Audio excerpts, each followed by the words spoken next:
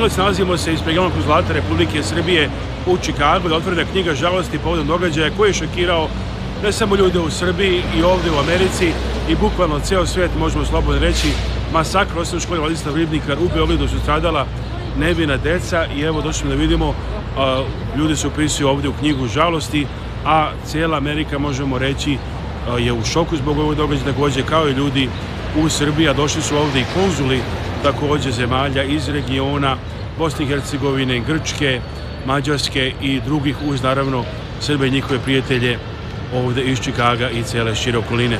U knjigu žalosti otvorenu povodom stravičnog zločina u Beogradskoj školi Vladislav Ribnikar upisali su se Srbi i njihovi prijatelji koji žive u Čikagu, ali i lideri diplomatskog kora u američkom gradu. Dakle, se nalazi u Sregijalnom konzulatu Republike Srbije u Čikagu, otvorena je knjiga žalosti povodom tragičnog događaja u Beogradu, osnovnoj školi Vladislav Ribnikar. Konzul Mirna Vardinović je danas ovde, evo dolaze Srbi iz Čikaga kolonije da se upišu.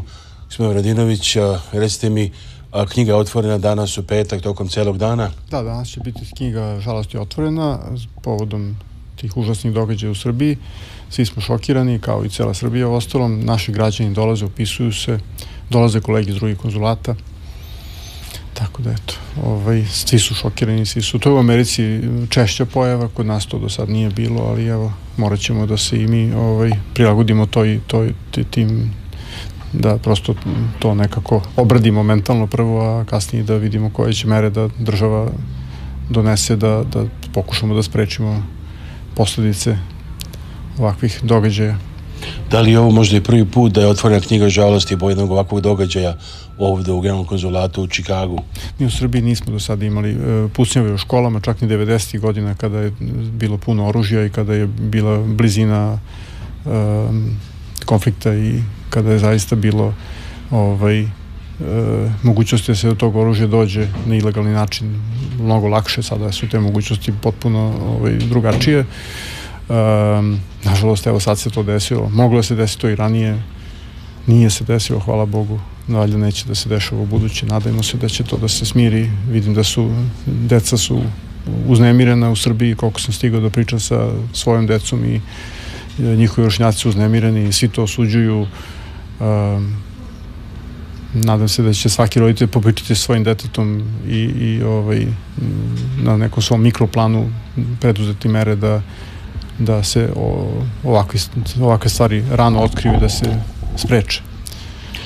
Da li ste preko razgovarate s ljudima koji završaju se upišu u knjigu danas, kakvi su njihove komentari i da li je bilo ljudi koji su izvali konzulat ovdje u Čikagu ovih dana u vezi sa ovim događajima? Da, evo dolazimo malo pre, mimo Išice se na ulazu, bukvalno e, generalni konzul Bosne i Hercegovine, to je naš, e, naš region tamo i oni su ljudi isto zaprepašćeni i, i ovaj, oni su zaista do, dolaze do svesti da bi takva stvar mogla se desiti u bilo kojoj državi bivše SFRJ, što nije bilo običaj do sada i nije se to dešavalo, ali ovaj, sada moramo svi malo zbiljnije da shvatimo tu mogućnost. E, tako da smo baš pričali o tome, svi su šokirani i ovaj, pričao sam sa bio je generalni konzul Indije, pričao sam sa njim takođe, Uh, on kaže da to, to se u Indiji dešava, to je velika zemlja sa mnogo stanovnika, uh, dešavaju se takve slučajevi. Kako teče sam ovaj proces, da li ljudi upišu samo ime ili upišu i komentar ako žele? Da, neko obično svoj... upišu neki komentar, daju neko, neko svoje, ovaj,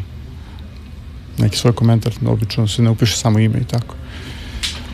O, kako su druga neka osjećanja Srba ovde u Čikagu, Americi, ovdje događaju, ste imali priliku da razgovarate što tiče osjećaja neki zajednice?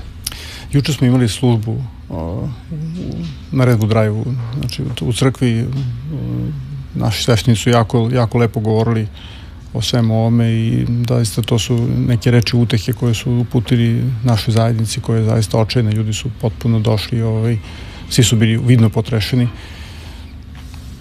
Tako da imali smo jednu službu koja je zaista se završila jednom, jednom, jednom, jednom lepom govorancijom naših sveštenika i zaista su postavili jednu lepu poruku uh, o tome kako se moramo svi potruditi kao društvo, kao zajednica da, da uh, prosto damo uh, jedan smisao životu te dece i da tu decu na drugi način usmeravamo da prosto oni ne ostanu bez uh, usmerenja, da ne ostanu bez uh, napušteni, bez smisla, bez uh, da vodimo, da povedemo svi računa o takvim stvarima, da se ovakve stvari više ne dešavaju, jer ovo pokazuje jednu uh, slabost u vaspitavanju, slabost u nadzoru nad decom, slabost nad uh, kod na čime sve. Uvijek će biti problema u Americi su te, te, te, te pustine po školama i nošenje oružja u škole vrlo običajne oni ovdje imaju ozbiljne mere zaštite prilikom odlaska u školu. Uh, to su skeneri, to su uh, zaista mi nismo nikad sanjali da to doći kod nas. Za sve nas je to jedan veliki šok, ali možda i jedno veliko otrežnjenje i jedna prilika da mi zaista ove stvari shvatimo ozbiljnije i pre svega radimo na mikroplanu sa svojom decom kod kuće a onda da se da, da prosto povedemo računa to sad nema neka strategija će sigurno da se tu razvije ovaj um, možda će to uticati i na zakonodavstvo u Srbiji kao što i ne, neke ideje su prisutne sigurno da bi, da bi treba uticati na um, te školske, da kažem, programe nastave, znači način, način odnosa prema deci, način odnosa u nastavi, znači skretanje pažnje, ukazivanje, razgovor i vođenje računa o psihičkom stanju dece, o znači na više nivoa, to, to će sigurno morati da, da ima posledice u Srbiji, neće to proći sigurno bez reakcije. Ali eto, kažem, to je u Americi prilično običajeno, nas je zateklo nespremne. Mađarski konzul u Čikagu, Erika Vinani, ističe da je žela da dođe jer je Srbija susedna zemlja i ona sama ima čerku. Kaže, ja sam ljudsko biće i mislim da događaj u vašoj zemlji 3. maja bio vrlo tužan. Svi Mađari, kao zemlja i naši kolege, želimo da izrazimo naše žaljenje zbog vašeg gubitka. Pitamo da li je posjetila Srbiju. Kaže da još nije, ali bi želela. Dodajemo kakva je bila reakcija kad je čula za ovu. Ona kaže da je bila šokirana, ne samo ona, nego cijela zemlja i nada se se ovako nešto nikada ne ponovi. Generalni konzul Grčke Emanuel Kubarakis kaže da je u ime Grčke republike i grčkog naroda došao u konzulat Republike Srbije da izrazi najdublje saučešće prijateljskom narodu Srbije za ovu strašnu nacionalnu tragediju koja se dogodila u školi u Beogradu. Dodaje, došao sam i da kažem da su naše molitve i misli upućeni porodicama žrtava i povređenima u napadu. Hemijska lovka se sporo pokretala, teško je bilo upisati reči ispunjene tugom i nevericom da je takva tragedija uopšte mogla da se desi. Evo, gospodin Branko Smilecki došao je danas da se upiše u knjigu žalosti. Recite mi, a, da li možda vas pitamo šta ste upisali danas ovdje u knjizi žalosti? Pa, jedino što mogu da iskreno saučešće familijama poginulih dečaka i devojčice. Još sam uvek u šoku. Ja sam ovaj, živo na Vračaru, Hadži ovoj ulici i znam školu Vladislav Ribnikar i ovaj, nažalost jedan mojih prijatelja je izgubio unuku ja sam ipak preko 70 godina i, i ovaj, čuo sam se s njim i izjavio mu lično saučešće.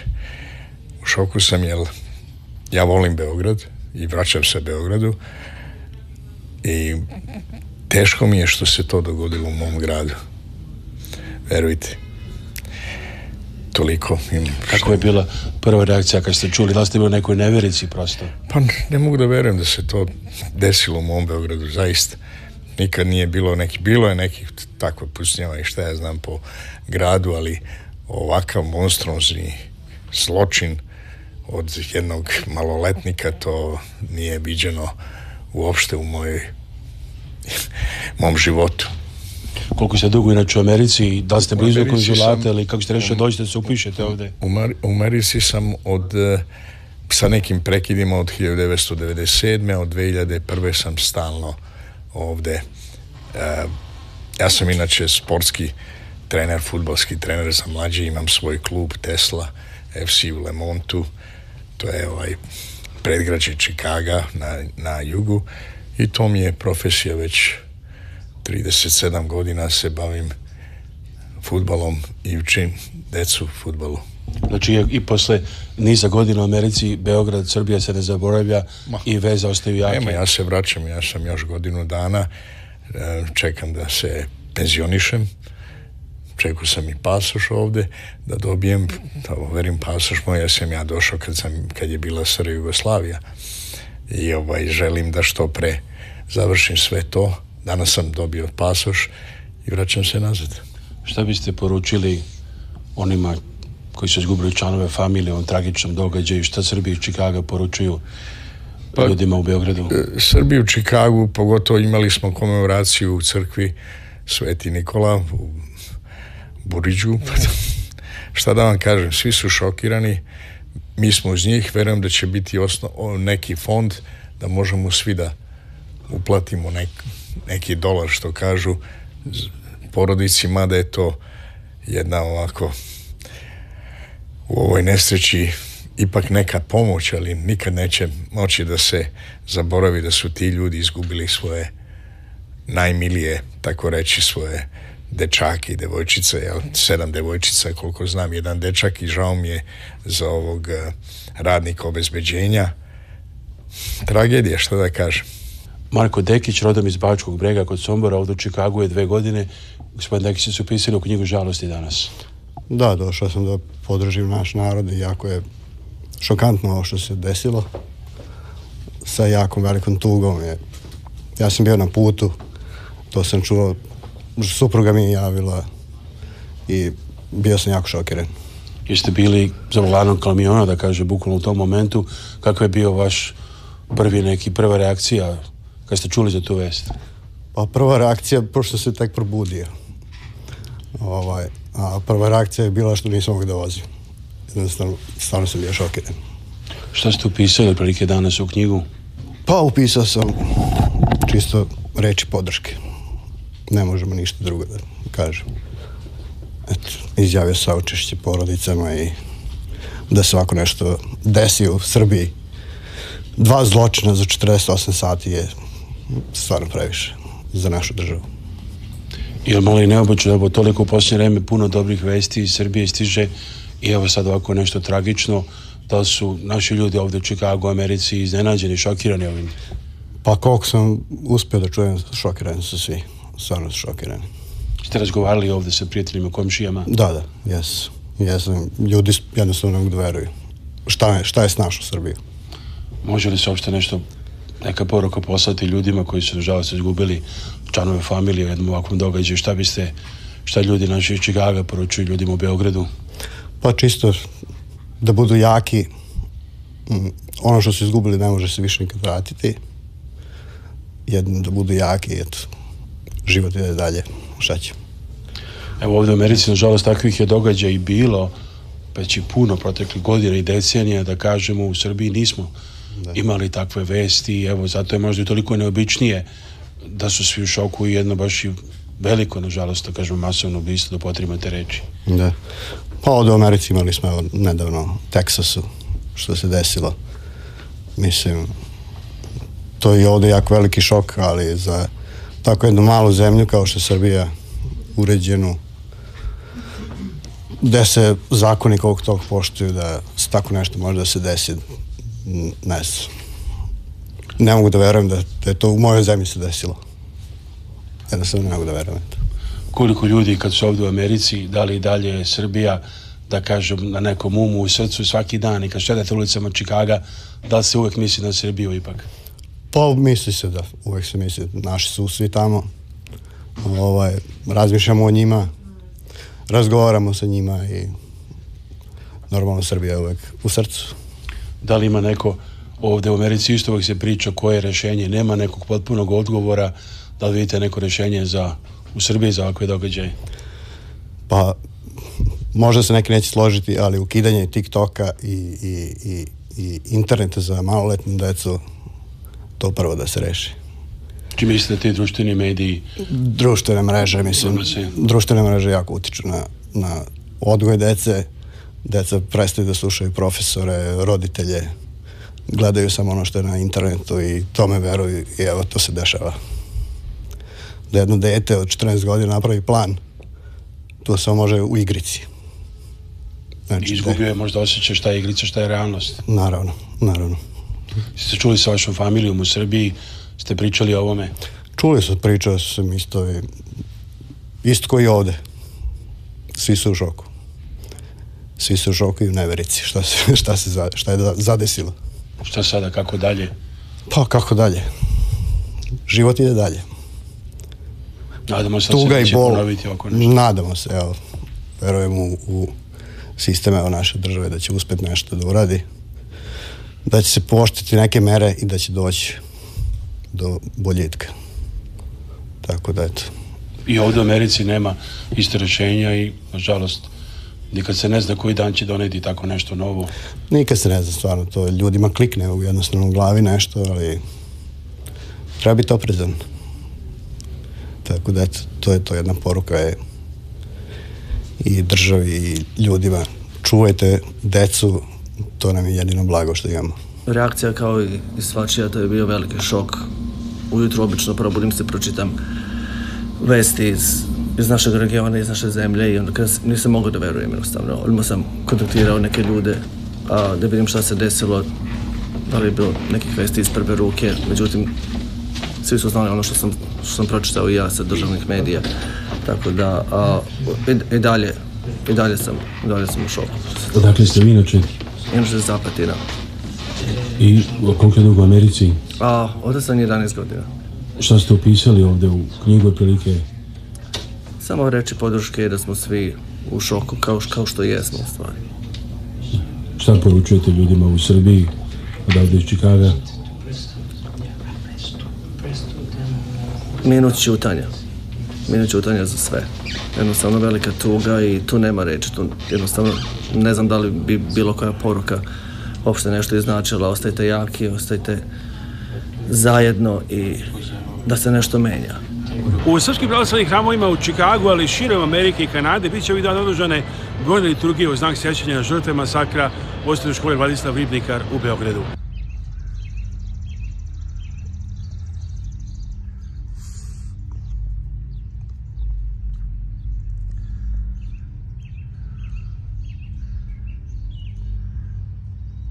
Gledalci, dobar dan. Javljamo se s imanja Srpske pravoslavne crkve Svetog Vaznesenja Hristova u gradu Rockford, Illinois. Ovo je drugi najveći grad, inače u Američkoj saveznoj državi Illinois. Došli smo da razgovaramo sa ocem Milošem Živkovićem, jerejom i starešinom hrama, koji je relativno nedavno ovdje postao starešina hrama, evo da saznamo više o Srbima u ovom delu Amerike. Dakle, se nalazimo u Srpskoj pravoslavnoj crkvi Svetog Vaznesenja Hristovog u gradu Rockford, Illinois. Ovo je stvari drugi najveći grad Američkoj saveznoj državi Illinois, puno slušamo o Čikagu i neku ruku Rockford je deo neke te šire teritorije. Čikaga ali ipak zaseban grad koji ima i svoje industrije i svoju srpsku zajednicu koja je posebno porasta u posljednjih, da kažemo, 20 godina. Na ulazu crkvu ovdje piše 2001. da je otvorena, tako kažem, osveštana. Prepostavim pitan će oca Miloša da pozdravimo otac Miloš Živković, starešina hrama, jer je ovdje od crkve već neko, neko vreme. Oče Miloše, pomože Bog, kako ste? Bog pomogao, Hristos se. Do, hvala, Bog, dobro, dobro sam Bogu, hvala.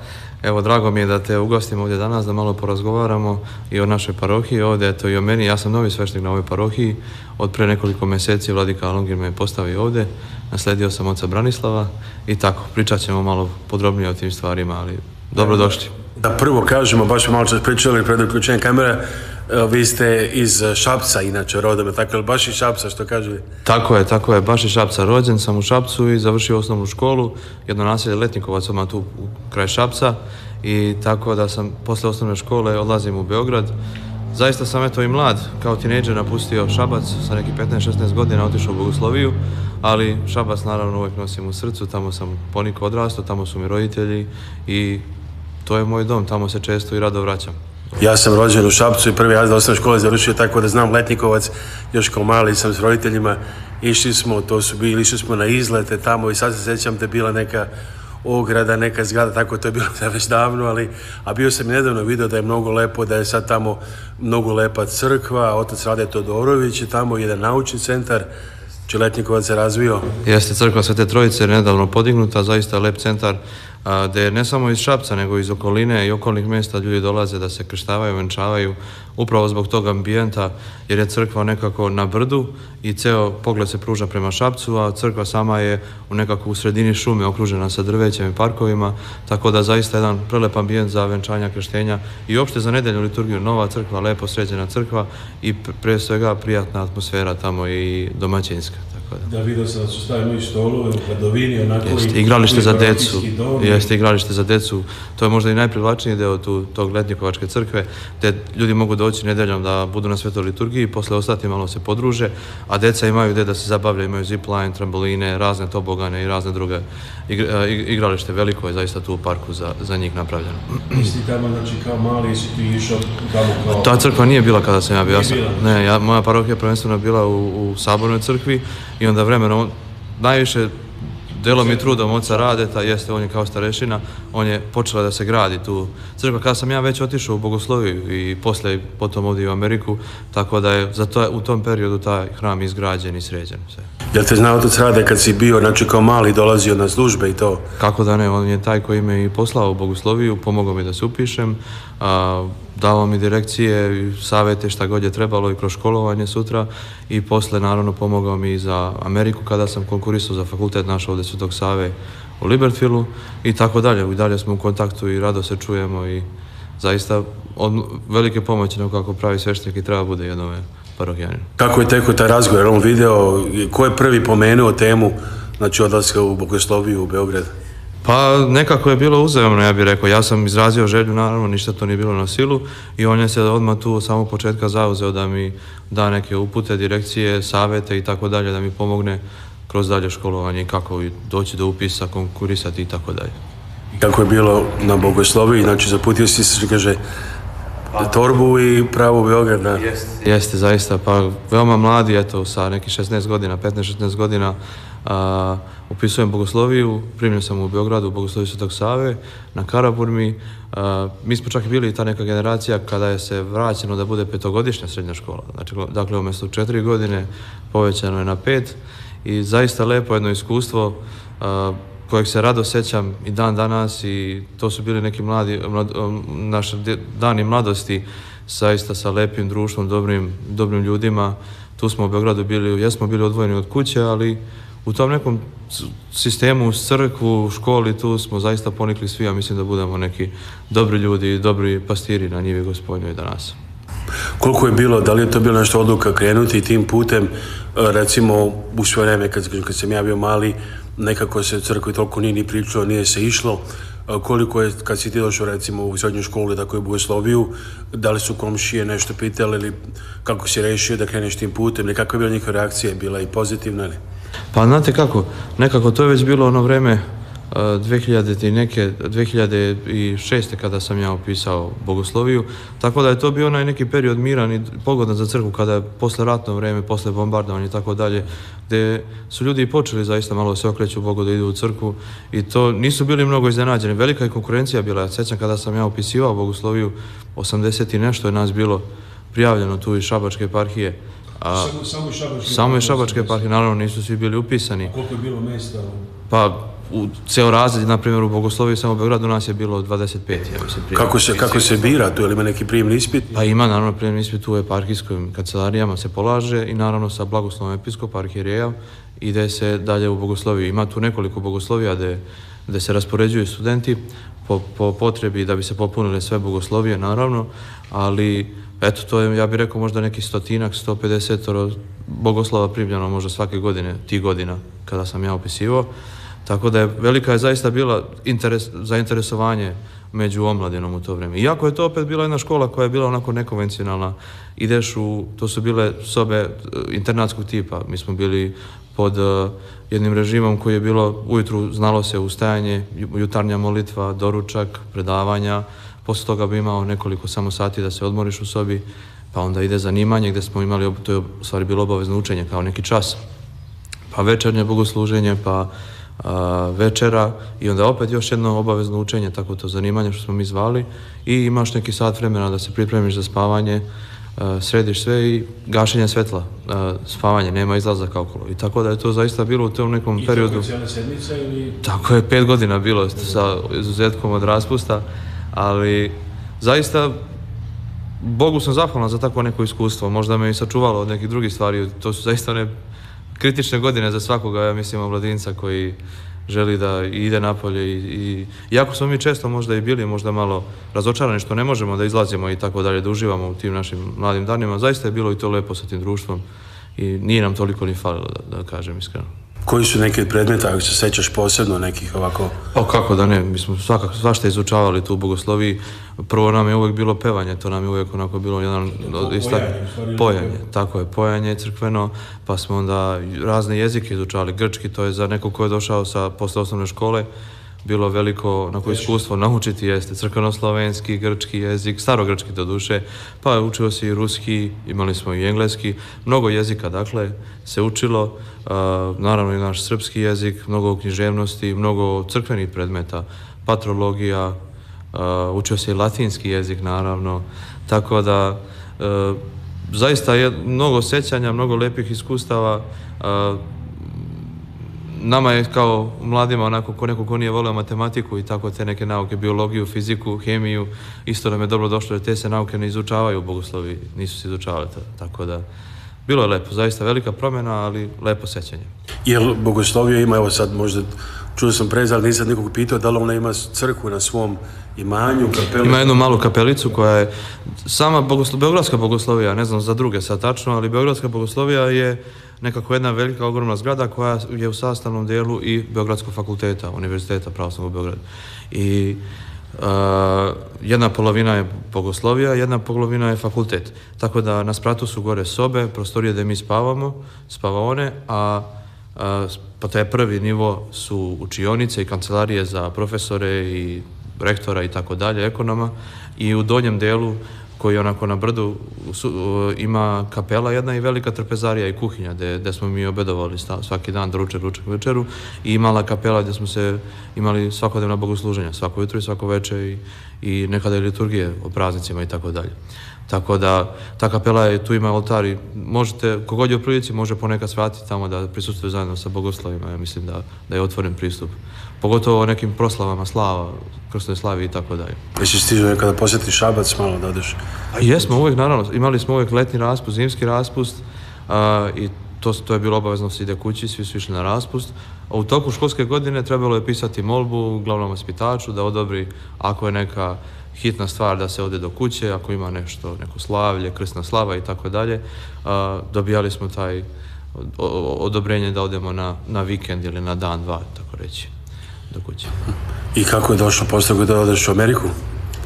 Pa nekako sam posle završene bogoslovije, pri samom završetku bogoslovije svi mi razmišljamo gdje ćemo na fakultet, Prva stvar je uglavnom Beograd, većina nas i ode u Beograd. Ja sam ih teo Beograd pa sam eto i pokušao, Amerika je uvijek bila tamo negdje na kraju pameti, treba još jedan drugi da dođe sa mnom, da, pa smo pokušali, eto, aplicirali, poslali naše informacije, naravno treba ovaj, blagoslov svog nadležnog arhijereja i tako dalje. Mnogo formulara se popuni, preporuke razne, znate sami kako ovdje kad se upisuje fakultet u Americi, tako kada je sve to popunjeno poslato, čekali smo odgovor i zaista jedno lepo i prijatno iznenađenje bilo kada sam čuo da sam primljen u Ameriku i za mene je to bilo samo eto možda neko novo iskustvo da naučim, da vidim kako žive naši Srbi ovdje u Americi, da naučim možda malo jezik, proputujem, obiđem zemlju, ali eto, tako je, Bog je htio da ostanem ovdje i da budem sveštenik na ovom kontinentu, našem narodu.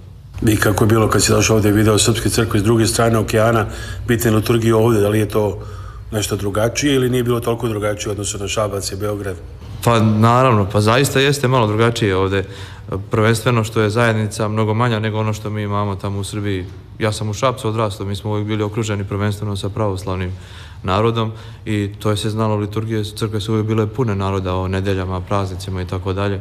Ovdje već, e, to je jedna parohija, jedna zajednica ne mogu kažem zatvorena, ali jednog dela naroda koji imaju svoje parohijane, svoje članove i tu je 150, 200, 300 familija, zavisi od veličine parohije, možda i više neke, neke su veće, neke manje i oni odlaze u svoju parohiju i tu se prisustuju na svetim liturgijama, mole se Bogu i prečešćuju naravno.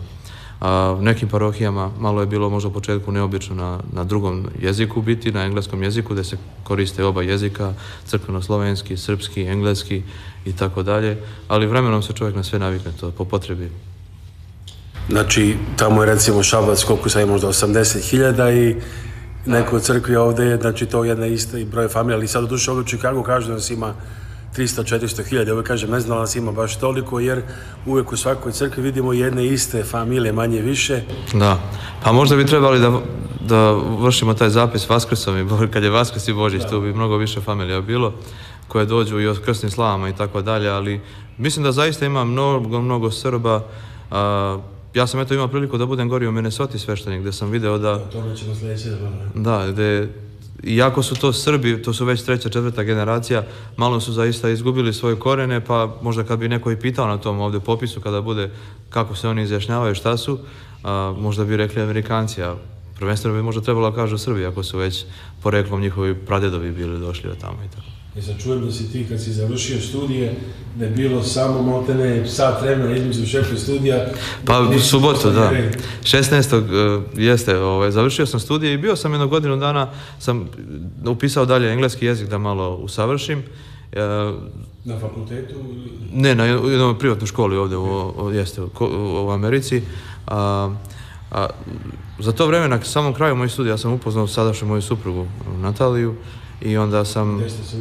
Upoznali? Smo se u mojoj školi, ona je došla, ona je igrala folklor u jednoj folklornoj grupi i došla je na proslavu naše crkvene slave, Svetosavske akademije naše škole i tako smo se tu i upoznali, počeli malo se, da, što mi mladi sad kažemo, dopisujemo i tako dalje i i to je već bio neki moj završni semestar, pa sam ostao tu da budem s njom malo duže. To su baš neke stvari koje ovdje spajaju Srbi u Americi, folklor i crkva. Pa naravno, da, najčešće. Tako omladina se tu najbolje upoznaje. I zaista jeste, folklor, crkva i kamp uh, je iznedrio mnogo, spojio za duše mnogo mladih u porodice koje su danas zaista veoma zdrave i mnogodetne i nastavljaju da poštuju našu kulturu i tradiciju i veru. E sad, znači, otišao si posle studija u Libertyville, u manastir Svetog Save, a, u Minnesota, neko ovako malo mesto, na, na Duluth, čuo sam da onako gore pa zimi i ledine i to, a kad dođe do kraja, pa onda još sat vremena ima. Jeste, tačno tako. Pa bilo je, to je bio jedan onako kulturni šok za nas, moram reći, za, za mene prvenstveno. Znači, Molim? Je, sam već bilo sa suprugom, si došao familija? To jeste, jeste, ja sam, znači, kada se, kada, oženio sam se 2017. 2016. izvinite, 2017. sam se rukopoložio, Vladika me rukopoložio, dobili smo i dete, uh, sina, da, hvala. To je bio prvi naš sin, kada smo, kada smo ga dobili, uh, to je već bilo 2018. I ovaj, i posle rođenja sina, Vladika, ja sam, dok je još supruga bila trudna, dok sam bio sveštenik ovde u Čikagu, išao sam svaki vikend, bi išao i vozio svake nedelje do Detroita, do Michigan države, uh, u Warren jedno mesto tu pored Detroita i služio bi nedeljom liturgije. Oni su imali malo problem, čekali su sveštenika da sredi imigracijone papire da dođe tamo. To je Lavarica ili Lazarica? Uh, to je Lazarica. Lazarica. Da. I, o, o, ne, to je u stvari Dečani, Sveti Stefan Dečani, da, zvoni se. Ra, Ravanica je Svetog, Svetog kneza Lazara crkva. I, ovaj, i tamo bi služio svake nedelje, otišao bi subotom, prespavao tamo nedelju, služio liturgiju, vratio se nazad nekih pola godine. Posle kada je već i beba stigla, kada smo dobili dete, to je bilo malo i nezgodno raditi.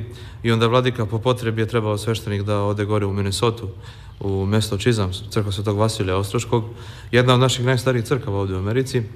E, malo je to za nas sad neobično čuti. Ja isto nisam ništa znao o toj parohiji i o tom imigraciji koja dolazila, ali eto pre nekih stotinak jednog veka, otprilike 100, 115, 120 godina, naši Srbi su masovno dolazili tamo, prvenstveno Lika, Hercegovina i tako, oni su odlazili u, na sever Minnesota gdje su bili rudnici veliki, gdje bi oni, naravno nije im trebao jezik, nije im trebala neka škola, gdje bi dolazili i radili u rudniku po, po ceo dan, maltene su radili po 12 sati smene, težak zaista život bio, da bi ishranili svoju porodicu, da bi podigli svoje porodice i eto silom prilika, naravno gledali su svoju decu da ih školuju, da ne budu u tim teškim poslovima. Dosta s te imigracije se raselilo dalje po Americi, tako da ako danas odete u Kaliforniju, Milwaukee, Detroit ili čak i Chicago, mnogi od njih će vući korene tamo negde iz Minnesota, uh, iz tog dela, koji se ovde na američkom zove taj neki gvozdeni lanac, Iron Range, gde ima masa tih rudnika, gde se zaista godinama vadila ruda i tu se crpi gvožđe za cijelu Ameriku, za mnoge industrije. Tako da, veliko iskustvo, velika promjena za nas iz jednog Čikaga koji je, kao što smo malo pre pomenuli, uh, veliku ima srpsku zajednicu, jaka srpska zajednica. Ja kao student teologije sam uvijek bio vezan za tu srpsku zajednicu, što kroz crkvu, što kroz školu, druženje, naši restorani, naša hrana ovde. Sve to kada smo otišli gore u Minnesota, toga nije bilo. I onda, tako da nam je to bio malo veliki šok, prvenstveno meni, ali čovjek se navikne na sve i to je njiva gospodnja i tako da smo našli misiju tu da radimo sa tim narodom. Ima naroda, hvala Bogu, i dalje dolazilo i gore, tako da smo s njim radili tri, tri nešto godine sam bio na toj parohiji. Znači ovdje ima dosta Chicago duše, ima i dosta ljudi kojima su došli babe i dede i pradede, ali puno koji su došli novije, ali znači Minnesota su uglavnom ljudi kojima su preci došli tamo davno i oni su skoro svi rođeni u Americi. E, pa da, to, to su čak i mešoviti brakovi. Tu redko da ima brakova da su pravoslavni oba, oba, oba člana, nego moglo bi se reći da se sećaju da su i bake vodili u crkvu, ti sa koji su već odrasli ljudi, 60-70 godina. Niko od njih nikada nije bio tamo, niko od njih nikada se nije susretao sa našom kulturom tamo. Zadržali su koliko su mogli, a, ali prvenstveno to je to jedan primjer koji je veoma lep i što me naučilo da sve lepo i hrana i tradicija i tako dalje i folklor, ali prvenstveno ako veru ne sačuvaš i ako ne naučiš svoje dete u veri, izgubit će i to sećanje na, na, na, na bilo šta drugo što ga naučimo. Tako da tu sam vidio da zaista oni koji su bili onako dobro potkovani u svojoj veri, koji su bili naučeni u šta veruju, u koju crkvu idu i tako dalje, da su oni i ostali uz Srpsku pravoslavnu crkvu. Crkva i dalje tamo sada? Crkva jeste i dalje tamo. Ima drugo sveštenika ili? Ima drugi sveštenik je ostao, naravno. Bilo je tu dve crkve a, a, u, na sedam milja udaljenosti, pa nažalost nema tu toliko naroda, ne samo pravoslavnog naroda, nego nema više ni, ni Amerikanaca u tom delu toliko, jer sama ta industrija rudnička nije toliko popularna, tehnologija je napredovala, mnoge stvari obavljaju mašine koje su pre ljudi radili, a i ruda je se dosta istrošila tamo, tako da sve je opala, opala je naseljenost u tom cijelom delu, tako da smo po blagoslovu episkopa gledali da spojimo te dve parohije u jednu parohiju koja će biti zdrava tamo da se sačuva srpska i pravoslavna vera prvenstveno. Bilo bi interesantno da se ti ljudi, evo sad kad bude avion Chicago, da se organizuje neka tura, da oni posete Srbiju, možda za njih prvi put, da vide zemlju baba i prababa i...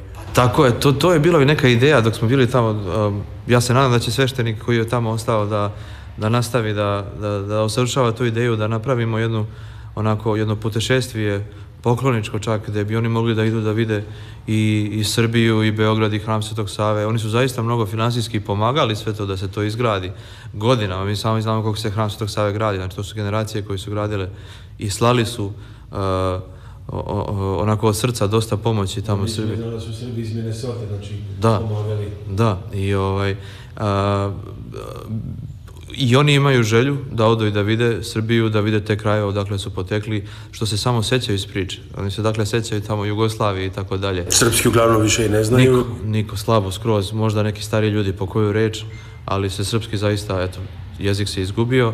A, ne može se ni kriviti jer nove imigracije nije bilo da dođe da podgrevate neke naše a, kulturne događaje i, i jezik i kulturu i tradiciju i tako dalje. Je malo mesto. Sad. Pa malo mesto, da, ali imigracija je tu stala, prestala dolaziti negde oko, ja bih rekao, mislim da posle 930. 40. niko više nije dolazio tamo. A, posle su se već selili vamo, ja mislim, ka Indijani, Geri, gde, je bila, gde su bile fabrike i tako dalje. Ja mislim da je moj deda i pradeda došli bili iz Like, u to vreme da su bili na Minnesota, duše, čim su se gradili pruge, možda negdje čak i malo zapadniji, ali su jedno vreme bili u Minnesota i oni. I bio je popularno isto i logging su radili kao ono, ono, ona deblo kada seku i šalju ga niz reku i tako da, ono, drvo seče ili kako se to već zove kod nas. Tako da i to je bila jedna velika isto onako industrija tamo. Zaista teški fizički poslovi, ali eto, hvala Bogu, snašli su se.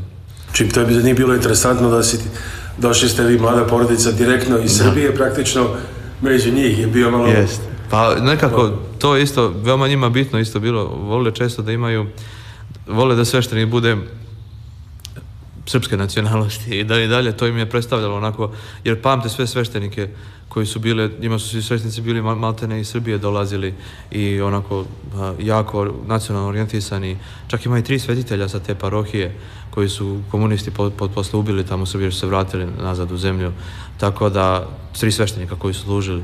A, vole, vole zaista, vole našu kulturu, vole našu tradiciju i ta ideja je zaista lepa. Trebalo bi se raditi na tome da, da ih jednog dana odvedemo da vide ideje to Kosovo, o kojem često mi pričamo, da vide hram Svetog Save, da vide odakle su potekli tamo Liku, Crnu Goru i tako dalje, sve Hercegovinu da obiđu i da, da vide.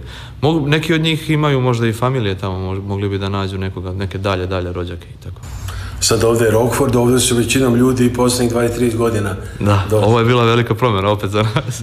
tako da od jednoga, jedne parohije gdje smo imali, gdje je parohija bila kompletno skroz na engleskom jeziku i službe i sve došli smo na parohiju koja je skroz posto 100% na srpskom, onako veoma mlada, ja mislim čak i najmlađa parohija ovo je ovdje okolini, samo 20 nešto godina, 25 godina otprilike, kako je osnovana i kako su se počeli okupljati ovdje ljudi, Srbi naši, doseljavati u Rockford, tako da zaista lepo jedno iskustvo, vratili smo se opet u one dane kada smo tamo u Srbiji živjeli sa našom kulturom, tradicijom i hvala Bogu raste parohija sve više i više u brojevima, većina su mnogodetne porodice ovdje, tako da zaista lepo i drago nam je da, da smo ovdje polako da, da, gradimo svoj dom ovdje. Či da li ima nove ljudi koji dolaze ili više familije koje su tu se uvećavaju zahvaljujući više deci familija, unucima? Da, da, više familija koje se uvećavaju zahvaljujući deci i unucima i tako širi se krug. Znate, dolazila je familija, sad su to već bake i deke, oni imaju svoju decu koji već dobijaju svoju decu, dakle unučiće. A, postoji još jedan trend ovdje, mislim, koji sam primetio, veoma mi je drag i vidim da dosta se naših odlučuje tih uh, stariji koji već dođu u penziju ljudi da se vrate tamo što bliže mogu svome svome kraju. Naravno, nažalost, neki ne mogu zbog ratnih uslova, koji su bili u ratnim uslovima, izgubili su tamo sve i kuće i manja i više to nisu ni tako prijatna mesta za Srbe da žive tu, uh, ali opet traže neko obližnje mjesto da bi mogli da se vrate svojoj kulturi i tradiciji tamo u Srbiji i da, da provedu te eto, penzionerske dane tamo u Srbiji među svojim narodom. Da ipak sa američkom penzijom, bez obzira kolika je, bit će tamo sigurno većinom iznad proseka, pa, tako da mogu da uživaju. Biti malo sa boljim kvalitetom sa, sa ovim primanjima. Kako je danas Rockford, uh, onda ima neke industrije, neke su otvorene, neke zatvorene, a, ekonomija, kako ide, to vratno je bitno zbog života naših ljudi. Imaju li, imaju li poslove, da su se skućili, ono što kaže, kako je za život? Pa zaista da vam kažem, ja sam se iznenadio kada sam došao ovde, omladina je veoma školovana ovde, svi su, i većina, ne mogu kažem svi, ali većina njih su inženjeri i ima ovde nekoliko tih kompanija koje proizvode avione za, delove za avione, za Boeing i tako dalje. Pa tako da su oni našli eto, su, tu svoje mjesto u tim nekim firmama gdje su sa školom i zaista lepo steknu. A druga stvar je taj trend ovdje u Americi gdje se može uh, od kuće raditi remotely. Uh, tako da Rockford, malo na početku smo pomenuli, zaista nije puno udaljeno od Čikaga, a pogodnosti su mnogo veće, cijene nekretnina mnogo manje nego u Čikagu, tako da e, gužve su mnogo manje, tako da mnogi se možda odlučuju da žive ovdje, a da rade za, za tamo negdje u Čikagu, a opet omladina je tu blizu sve nekako Elgin, Šamburg, pa često i putuju dolaze ovamo kod, u postiju kod familije. Vidim evo na vratima da piše 20. maja, toliko pričamo, spremate folklorni festival ovdje u crkvi. Da, naša folklorna U društvenoj sali, naravno. Jeste. Sprema prolećnu tu zabavu pred, pred sam raspust folklorne grupe, gdje će napraviti zabavu, dolaze i malo prijatelji iz drugih crkava, deca, deca se igraju, da nastupaju zajedno, da se druže. Dukati, ne Dukati, Svilen Konac se zove naša folklorna grupa, da. A Ducati Biseri, da... Imaju saradnje, mislim. Jeste, imaju veoma lepu saradnju, sa, jer a, koreograf naše folklorne grupe je Duška. Ja. I ona je, mislim da vodi Ducati Bisere tamo, ona i njen brat Jovan i tako da oni ovdje treniraju našu decu. Zaista su deca posvećena, ne samo da vežbaju to jednom nedelju, nego dolaze čak i više puta nedeljno da uvežbavaju koreografiju, vole i uživaju u našim tim igrama i druženju. Što još ima ovdje na crkvenom imanju, vidim tu ima i neki mali futbolski teren i ima sala i dole, ima i napolju pokriven deo i zaista aktivna parohija i živa. Uh, ima futbalski klub, čak Soko se zove, vole da nastupaju, igraju čak i na Srbijadi i tako dalje, vole da se takmiče. Ima dosta mladih ovdje, naših, uh, malo starijih možda od mene, tako mojih godina, malo starijih koji vole da igraju futbal. Naš ima tu teren, često se okupe preko leta, budu i treninzi za decu, a preko zime, pošto je na otvorenom ovdje uz našu crku teren, uh, rentaju jedan prostor na drugom delu Rockfolda gdje se okupljaju i dalje igraju. Čak imamo, ja mislim, i možda ne zvanično odbojkaški tim, ali vole da se skupljaju često preko leta, igraju odbojku, ima tu mreža i teren za odbojku i tako dalje. Mnoge druge aktivnosti, folklorna grupa, vole da se druže i crkva im je, hvala Bogu, eto jedno mjesto gdje se rado okupljaju i, i susreću ovdje. Također u septembru se organizuje festival već godinama. Jest, Srpski dan i dvodnevni festival, ako se ne varam. Tako je, da. Septembar je otprilike neki period kada je parohija a, i osnovana, a, mislim 12. ili 10, 12. septembra 1997. godine. Prvi put je mitropolit Hristifor dao blagoslov za osnivanje ove parohije, tako da su eto, srpski dani su tradicionalno u septembru već godinama održavaju. To je jedan vikend gde se opet u nekom većem broju okupljaju naš narod ovde, iz, čak iz drugih krajeva, pa imamo i turnir u futbalu, razna druga sportska takmičenja, a i naravno to je uvek i nezaobilazno uživanje u našoj hrani i, raznim specijalitetima srpske kuhinje. Znači sve je razvijeno ovdje, da kažem, ljudi mogu da se osjeća kako se tiče liturgijskog života, koliko često se u liturgije... Hvala Bogu, službe, trudimo se, služimo svake nedelje, naravno su tu uh, sveta liturgija, svim praznicima, crvenim slovima, s nekim većim slavama i tako dalje. Trudimo se da imamo što više i predavača koje dolaze da narod se malo pouči i čuje nešto novo o našoj, o našoj veri, neki novi pristup našoj veri takođe i da zainteresujemo i omladinu za našu veru, da, da i privučemo crkvi, ne bili što jači očvrsnuli i bili čvršći u svojoj veri imali onako neki jači kamen, temelj kad izrastu sutra u ljude odrasle da, da znaju stvari kome pripadaju, u šta veruju i, i, i odakle su potekli. Ovo dosta smo i pričali o tim nekim aktivnostima izvan same crkve, oko crkve, znači što mislim pokazuje koliko crkva ovde za ljude znači u svakodnevnom smislu da se i taj drugi život, pa i sport i folklor i sve se vrti ovde i bukvalno oko crkve u stvari. Da li to malo i drugačije odnosu nas i Srbiji ovde? Da... Pa zaista, zaista mnogo drugačije, jer crkva ovde u Americi nije samo uh, crkva kao hram gde se molimo Bogu i gde je kuća gospodnja, nego je i neki, neka vrsta kluba socijalnog gde se ljudi zaista okupljaju da, da provode to zajedničko vreme, da se druže i sve. Tako da, lepo je videti da, da, da, da, je, da je to centar sama crkva, jer kada deca navikno dolaze u crkvu, a, makar to bilo i za druženje i za folklor i tako dalje, opet će imati taj osjećaj da ih vuče uvek na ovo mesto, bit će im drago. Tu su mnogo vremena proveli i sećaće se da ovde uvek može naći utehu i lepo vreme, ja se nadam. Da, čini mi se uvek ti mladi koji su prošli koji se rekli folklor i sve oni, njima će to ostati, a... Naravno, pa evo sad već vidimo te plodove toga rada, ja mislim dosta mladih ti koji su bili mali, ovde igrali folklor, družili se, sada su već stasali da su i tu i upravnom odboru i pomažu dosta svoju crkvu, jer ova starija generacija već polako uh, eto, kao što sam rekao, raseljava se neki na Floridu, neki nazad tamo u stari kraj i tako dalje. Tako da ovi mladi polako preuzimaju na sebe što su tu odrastali, cijenili su to, dakle sad polako vraćaju se i oni da, da buduće generacije mogu i oni da uživaju tako, tako dalje, da se nastavlja taj ciklus. Imali krštenja, svadbi? Naravno, tih... krštenja, venčanja, uvek toga ovde baš hvala Bogu ima zaista više, evo sad u subotu imam sledeće još jedno krštenje, prethodne subote je bilo nekoliko, dva, to jest pa one tamo isto bilo jedno krštenje, tako da uvek ovaj ovaj period posle Vaskesa bude veoma popularan za krštenja, venčanja i tako dalje, pre nego što svi odu na odmore. E, tradicionalno mislim da ovde čini mi se, ovo je moja prva godina ovde, ali vidim da dosta parohijana se priprema da, da ide u Srbiju ove godine e, preko leta i provode tamo veliki deo leta, par po dva, tri meseca sa dečicom i mislim da je to zaista i dobro i za njihove porodice i za decu da da se još čvršće onako učvrste u našoj kulturi i veri tamo u Srbiji. Nadam se da će ipak biti dovoljno ovdje, jer je crkvi ovdje da se održi i potrebno uvek puno pomoći. Biće, biće, naravno, bude. Preko leta isto bude ovdje veoma živo. A, jako neki odu, neki ostanu, pa se onda uvek vrši ta smjena. Neki se vrate i tako dalje. Uvek bude, bude naravno, naravno u manjem broju, mnogo, znatno manjem broju nego preko zime kada su ovdje svi i kada su ti centralni praznici naši, ali bude, bit će i narod, ja mislim. Ima li kolo srpske stara? Ima, naravno, kolo srpske sestara, žene zaista vredno rade, dosta pomažu, ovde spremaju hranu, trude se, čiste, održavaju ovo imanje u crkvu. Sad pokušavamo, imamo jedan projekat ispred nas koji je da renoviramo malo kuhinju, proširimo, da ubacimo malo neku bolju opremu, tako da bit će to, ja mislim, lepo, da će imati oni još više lana da se potrude i da rade to. Kako što tiče same crkve, mislim, ova crkva nije bila zidana kao Srpska pravoslavna crkva. Da, kupljena je od, bapti, od baptista, od baptističke crkve, pa je preuređena da bude što više u tom pravoslavnom duhu. Hvala Bogu, eto imamo ikonostas. Mislim da su ikone, pre, da su donacija iz crkve iz Vokigena, da su prošle kod nas, da su nam poklonili nama, a ovaj ikonosta sam drvenu konstrukciju su pravili dva parohijanina ovde koji su bili stolari s naše parohije tako da, eto, zaista lepo je to urađeno, lepo preuređeno.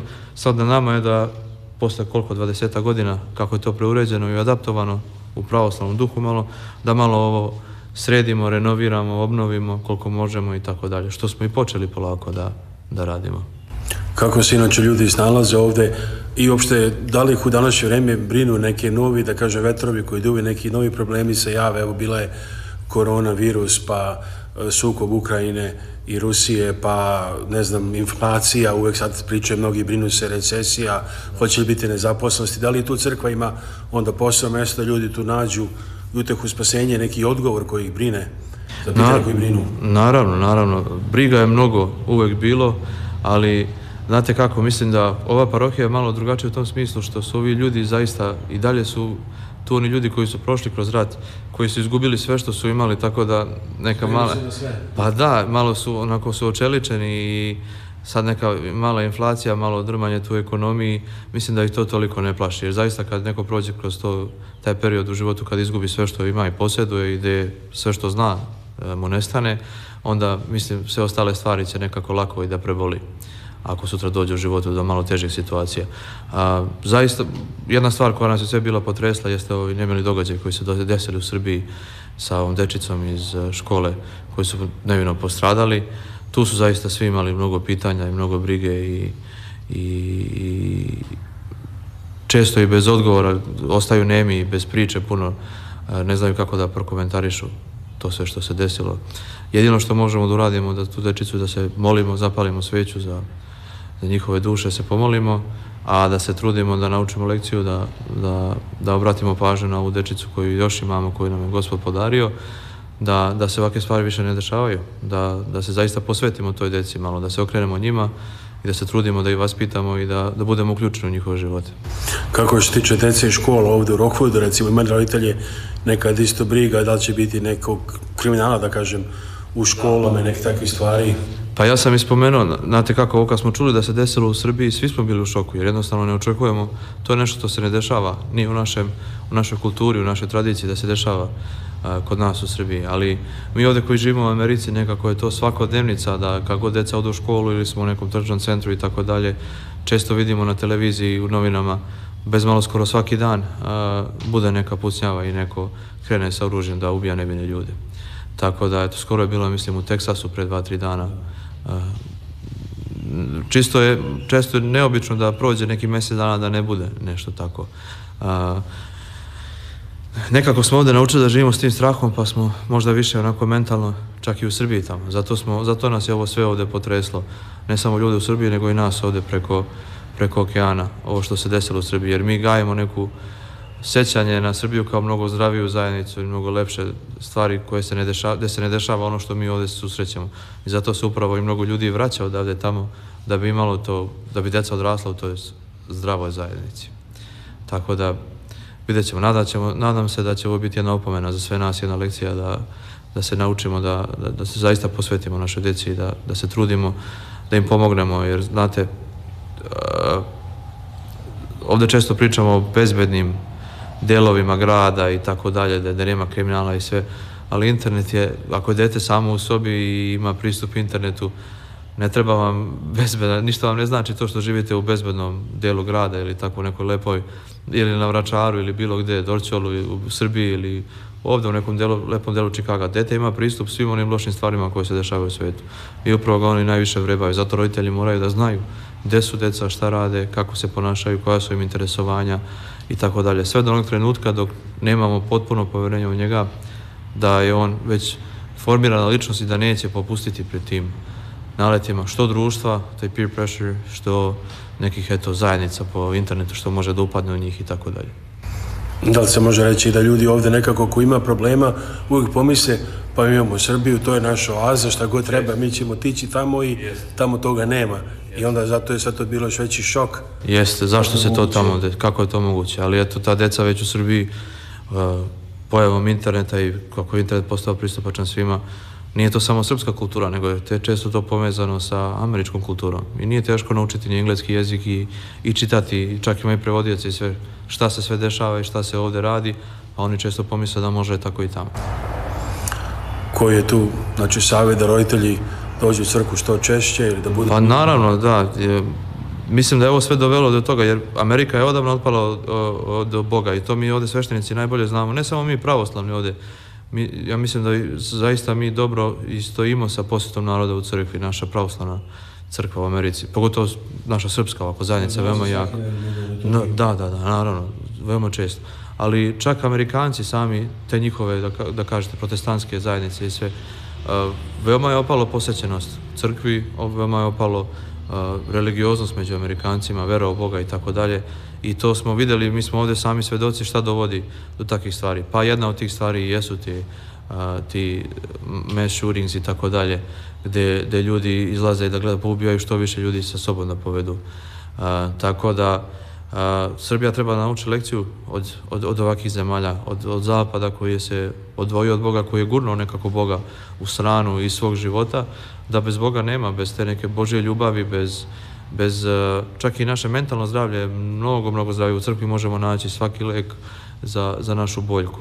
Prvenstveno, ako neko ima taj mentalni problem, lakše, lakše će se mnogo nositi sa i ako ga neko uvredi, ako ga neko ucijeni, ako ga neko tuče, mi uvijek ovdje u Srbiji pozivamo narod na opraštanje, na razumevanje, na, na razgovor i tako dalje.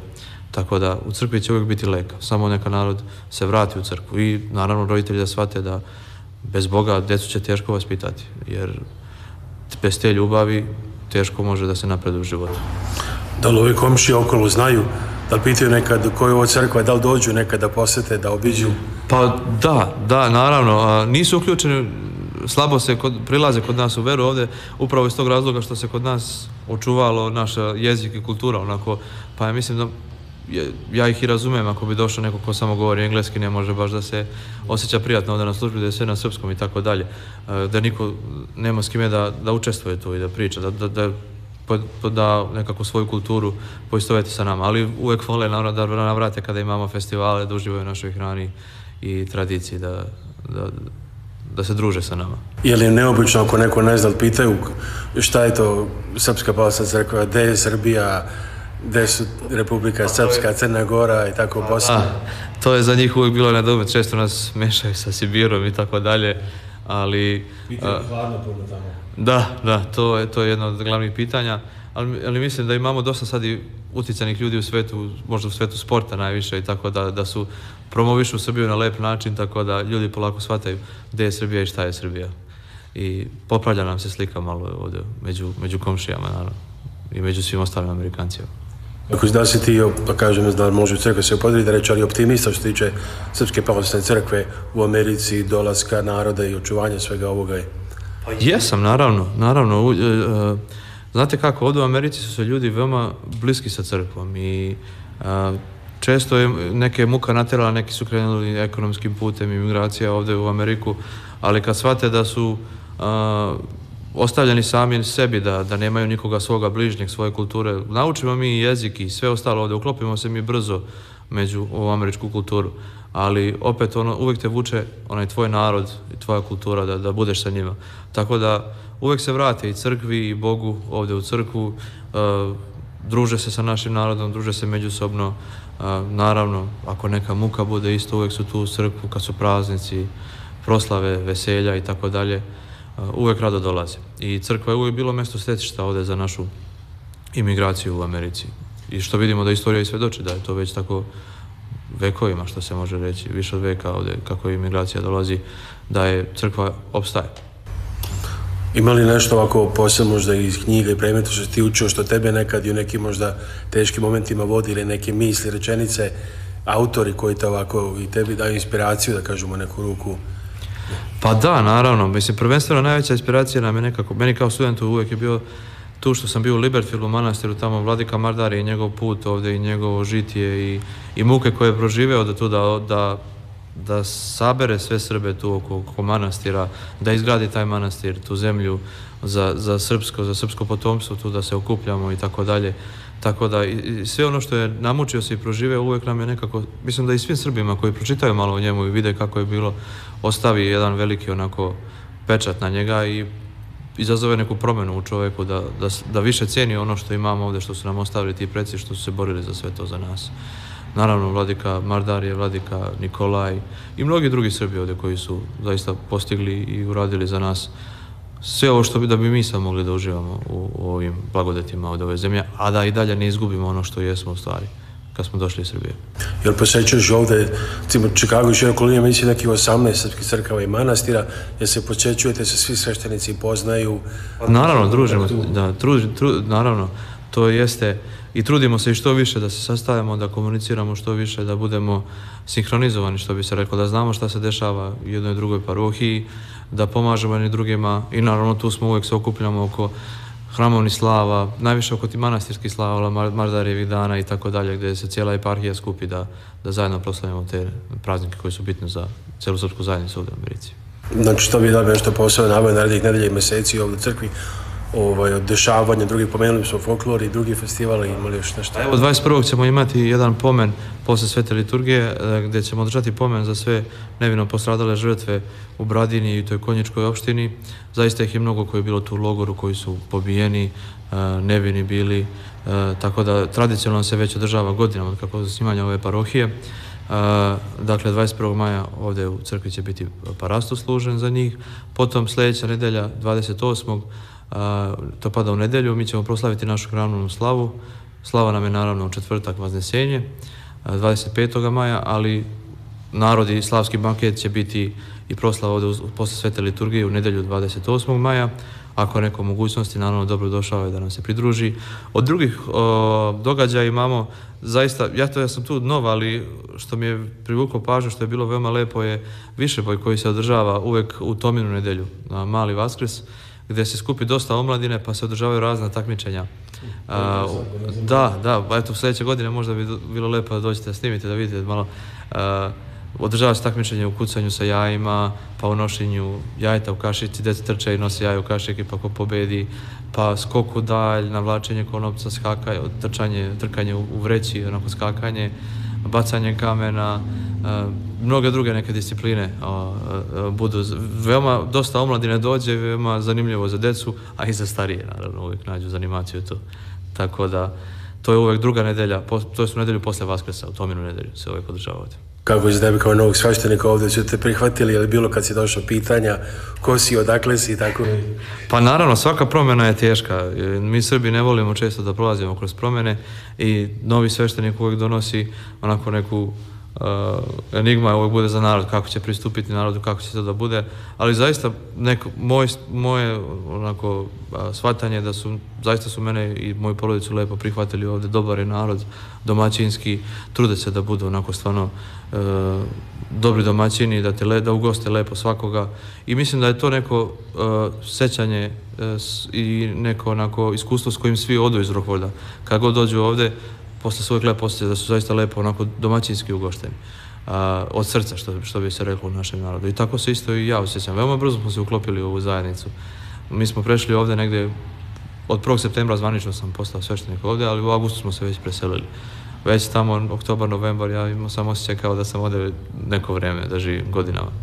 To je sjajno, ima znači puno jako finih, divnih ljudi u ovoj parohiji, pa nam sad ćemo ih upoznati više i i snimiti neke reportaže još sa njima da saznamo i više o njima. Ima neki poseban pozdrav, bilo za ljude ovdje ili u starom kraju.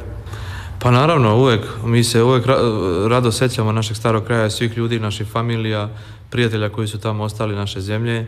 A, I eto, do, do, zbog ovih događaja koji su desili, to nam je velika jedna opomena da se molimo više jedni za druge, da se više trudimo i da, da bude, više budemo svesni jedni drugih i da pomažemo jedni drugima, da smo uvijek tu za svakoga da pružimo tu ruku pomoći, uh, savet ili šta već. Uh, nijedno dete nije samo za sebe izolovano i svaka porodica je izolovana, što se i nastoji da se uradi u ovom nekom modernom sistemu, da svako bude za sebe izolovan.